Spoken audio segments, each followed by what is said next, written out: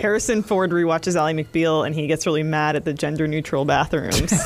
This doesn't make any sense. Boys are boys and girls are girls. I know. What are you doing? Just kill them. Yeah, I don't like genderless bathrooms, but I'll defend your right to have them. It's not genderless.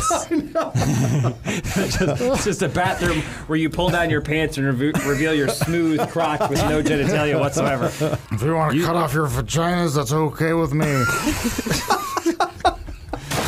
Harrison Ford's progressive. That's why I like him. I think he's. One of my best friends is covered in fur. His name's George.